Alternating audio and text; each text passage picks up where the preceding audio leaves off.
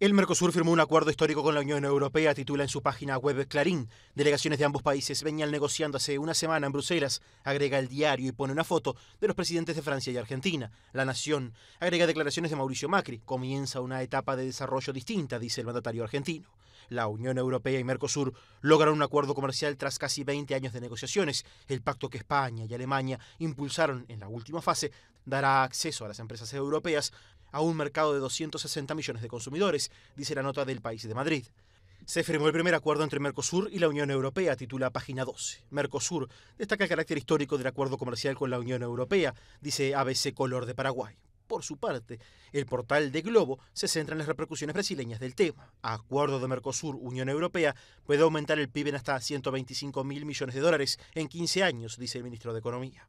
El gobierno también prevé un aumento de inversiones en Brasil de 113 mil millones de dólares en el mismo periodo y las exportaciones brasileñas a la Unión Europea presentarán casi 100 mil millones de ganancias hasta 2035, explica el medio.